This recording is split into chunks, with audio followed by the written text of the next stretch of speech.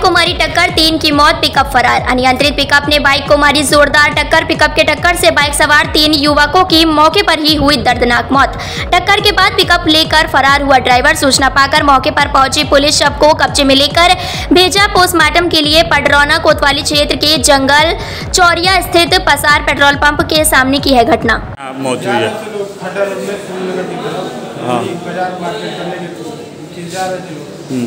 की? हम्म, में जंगल चौरिया petrol pump के पास हम लोग का तेज़ी से जा रही पिकअप से एक्सीडेंट हो गया। क्या- लोग मर गया मौके पे। अच्छा, कहाँ घर था इन लोग का? बंधु छपरा थाना? थाना पटवाना। वो मौके पे ही मौत हो गई थी। पिकअप वाला? पिकअप वाला अभी मेरा एक फ्रेंड फ़ोन किया था। हाँ। तो बता रहा था निगमा थाने में मतलब पकड़ा हुआ क्या नाम है आपका? रितेश कुमार। कौन है आप मृतक? के